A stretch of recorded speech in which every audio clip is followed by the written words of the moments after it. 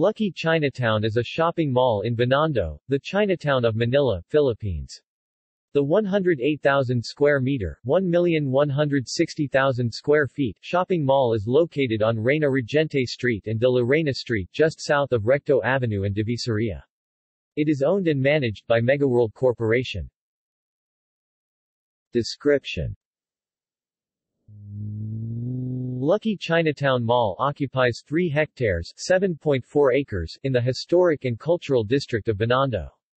It was built in 2012 on the former site of two Manila public high schools, the Raja Soliman High School and Jose Abad Santos High School. The mall was officially opened on 15 August 2012 as part of the Chinatown Heritage Project.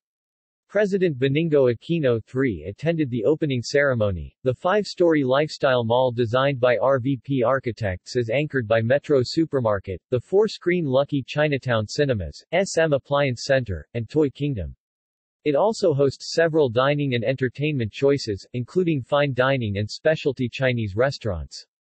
A promenade known as Chinatown Walk houses Chinese cuisine outlets. It is connected by walkway bridges to the Twin Tower CityPlace condominiums, the annex of the mall and CityPlace Square, also developed by Megaworld Corp.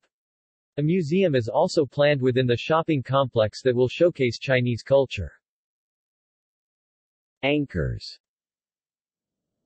Metro Supermarket Lucky Chinatown Cinemas SM Appliances Toy Kingdom. 158 Designers Boulevard. References